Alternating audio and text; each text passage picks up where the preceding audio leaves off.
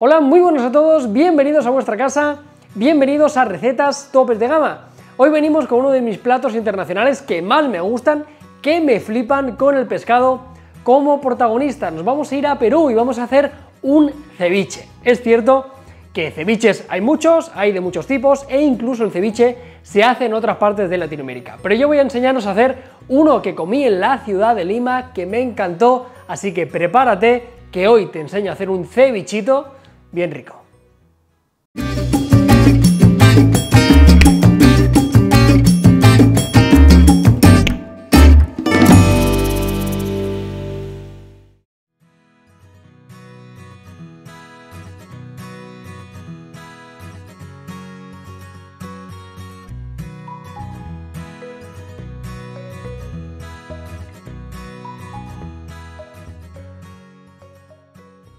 Comenzamos con uno de los acompañamientos y en este caso es un boniato. Hemos seleccionado medio boniato que será más que suficiente. Vamos a hacer un par de raciones de ceviche y le viene genial porque es dulce y es un contrapunto excelente para contrarrestar el picante, el ácido del ceviche. Lo único que vamos a hacer es pelarlo bien y vamos a cortarlo en rodajas. Pondremos un par por persona de unos 2 centímetros. Una vez que lo tenemos cortado, únicamente lo pondremos en una olla a hervir y en 10-15 minutos ya lo tendremos cocido.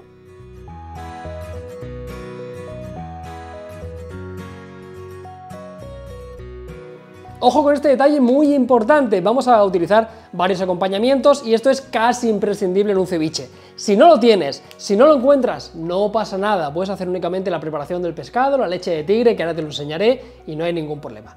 Pero es muy fácil que en cualquier tienda latinoamericana lo puedas encontrar. Aquí tenemos maíz choclo y este es el maíz Chulpe, dos imprescindibles, yo siempre que he ido a Perú, siempre me lo he comido con estas dos cosas, te lo dejamos en la descripción y ahora te enseñamos cómo se prepara. Comenzamos con el maíz chulpe. Únicamente lo que vamos a hacer es dorarlo. Una sartén pequeñita, fuego medio alto 7 sobre 10, un chorrito de aceite y lo ponemos. Lo vamos moviendo hasta conseguir este color doradito. Ojito, ponle una tapa porque esto es maíz, acabará saltando. Cuando lo tenemos justo con este color, lo ponemos encima de un papel absorbente y le ponemos un poquito de sal. Este maíz, ya te adelanto, que es súper adictivo. Y este es el maíz choclo. Normalmente lo vais a poder comprar congelado y ya viene precocido. Lo único que tendréis que hacer es ponerlo en agua caliente unos 5 minutitos y lo reservamos también. ¿Qué sería el ceviche si no fuera por el pescado? Y aquí hay un debate muy grande. ¿Cuál sería el pescado más adecuado? Pues sinceramente el favorito y el más utilizado es la corvina. En este caso hemos utilizado 300 gramos. Cada ración tendrá unos 150 gramos por persona. Una cantidad más que suficiente. Podéis utilizar tilapia, perca, rape, pero sinceramente la corvina es mi favorito y como veis lo único que hemos hecho es retirarle la piel, vigilar que no tengamos ninguna espina y lo vamos a cortar en daditos. Es importante que lo podamos comer con facilidad y como veis estamos haciendo unos cubitos de un centímetro y medio, dos centímetros aproximadamente para nuestro ceviche. Una vez que ya lo tenemos cortadito, lo ponemos en un bol y lo reservamos, porque luego lo vamos a mezclar. Ojo, cuidado porque llegamos a una preparación súper importante, la leche de tigre.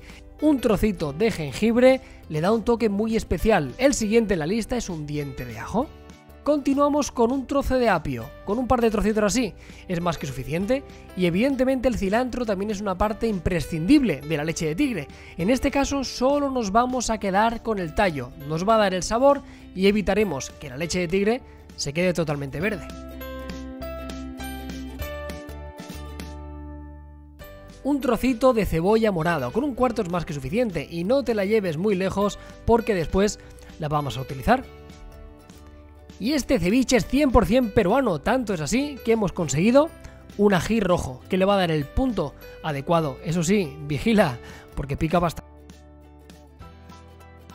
Como veis el ceviche tiene que picar, puede picar más o menos, según el gusto de cada uno. A mí me gusta un picante intermedio, hemos utilizado ají rojo. Esto sería lo ideal. Si no lo encontráis, hay diferentes alternativas. Está el rocoto, está el ají amarillo, que también es una variedad muy típica y también es relativamente fácil de encontrar en cualquier tienda latinoamericana o en cualquier tienda especializada. Si no encuentras ninguno de esto, le puedes utilizar perfectamente un poco de guindilla. Ahora que lo tenemos todo cortadito y peladito, lo único que tenemos que hacer es ponerlo en un vaso que luego vamos a triturar. Introducimos todos los elementos, el cilantro, el apio, la cebolla, el jengibre, el ajo y no te dejes el ají rojo. Vuelvo a repetir, mucho cuidado con el picante. Un truco muy importante, ¿os acordáis que habíamos troceado el pescado? Pues en esta preparación de la leche de tigre vamos a incluir un par de daditos. Y para terminar, medio vaso de agua con 100 mililitros. ¿Será más que suficiente? Ponemos la batidora al máximo, le damos caña y comenzamos a batir. Aquí ya veremos que se mezclan todos los ingredientes, ya tenemos una mezcla mucho más uniforme y se van desprendiendo todos los olores.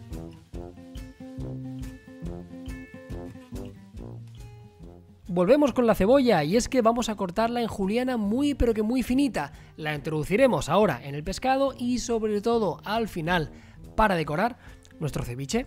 Exactamente igual con el cilantro, cogemos las hojas, en este caso sí, ahora sí que nos interesa la hoja del cilantro y la picamos muy pequeñita. La preparación del ceviche es muy fácil. Volvemos a coger el bol con los trocitos de pescado, le añadimos la leche de tigre que habíamos preparado. Nos vamos a ayudar de una cuchara para poder menearlo todo bien, con movimientos envolventes y con mucho cuidado. ¿eh? Hay que recordar que el pescado está crudo, hay que intentar trabajarlo con mimo para que no se rompa y que fuera del ceviche si no fuera por la lima. En este caso para dos raciones con cuatro limas tendremos más que suficiente. Las cortamos por la mitad y nos ayudamos de un vasito para sacarles el jugo. Un detalle y un truco muy importante, la lima no debéis exprimirla demasiado, ya que si la apretáis hasta el final es muy probable que se os amargue. Repito, con cuatro limas para este ceviche, vamos sobraos. Ya teníamos el pescado con la leche de tigre y ahora solo hay que añadirle el jugo de las limas recién exprimidas, le damos cuatro vueltecitas y rectificamos de sal. Para ir finalizando esta preparación le metemos un poquito de cebolla, le damos cuatro meneitos y vamos a dejar que la leche de tigre, todos los ácidos y sobre todo la lima cocinen ligeramente el pescado. No necesitamos dejarlo demasiado tiempo, con 4 o 5 minutos será más que suficiente.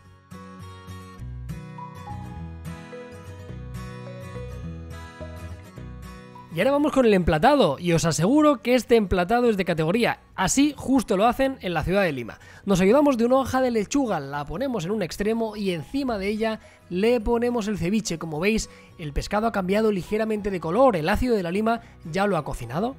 Le ponemos leche de tigre, que es importante darle ese jugo, y lo acompañamos con el resto de ingredientes. Le ponemos el boniato, que le va a dar ese toque dulce que tan bien le va a ir, además de tener una textura totalmente diferente. Continuamos con un poquito de cebolla morada encima del pescado y también lo acompañamos con el cilantro recién picado. Y para terminar, ¿os acordáis? El maíz. Primero el chulpe, que está dorado y con su punto de sal. Y por otro lado, el maíz choclo cocido.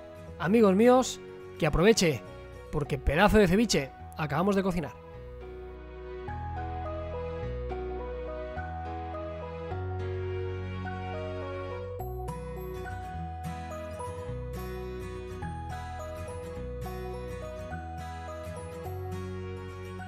Bueno, pues esto ha sido todo, esta ha sido la receta de este rico ceviche de corvina. Hemos intentado hacerlo lo más fiel a la realidad. Soy consciente, gente de Perú, gente de otra parte de Latinoamérica, que puede que me haya dejado algún ingrediente y demás, pero creo sinceramente que lo hemos hecho bastante fiel, por lo menos me recuerda mucho y siguiendo la receta del que me comí en la ciudad de Lima, que tengo muchas ganas de volver.